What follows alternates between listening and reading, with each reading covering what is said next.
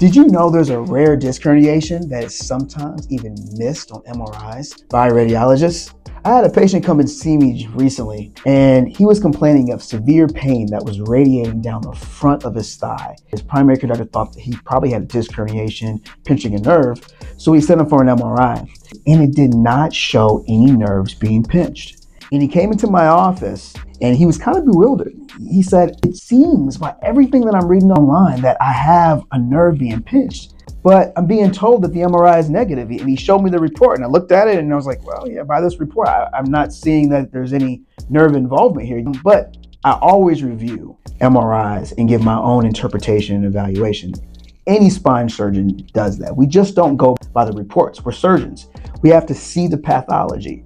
And initially, I didn't see anything. But as I was looking at the axial images, so come here, I want to show you this. These are the sagittal images. This is us looking at the spine from the side. You can think of it as a lateral view. So this is the front of the spine, this is the back of the spine, and here in this area, these are where the nerves are. And I'm looking for any disc herniations or bulges. I really don't see anything. The nerves look free in the sagittal film here.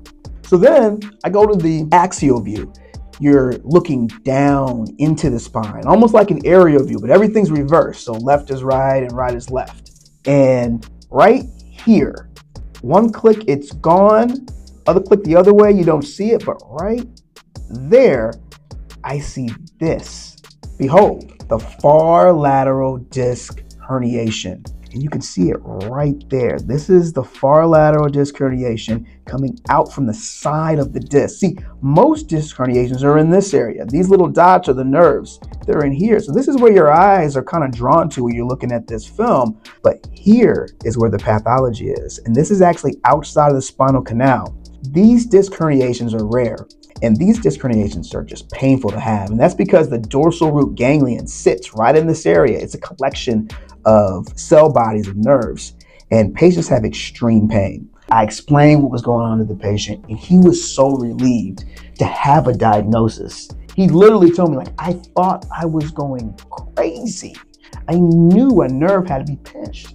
So this is a patient that we did perform a surgery on. He had tried conservative measures. He didn't get better. He was in severe pain. He actually came to my office using a walker. I performed a far lateral microdiscectomy and a little more of a complex type of surgery. I did this through a tube. Incision was probably about an inch or so. He was discharged the same day. And soon after surgery, his leg pain had improved significantly and he continues to do well.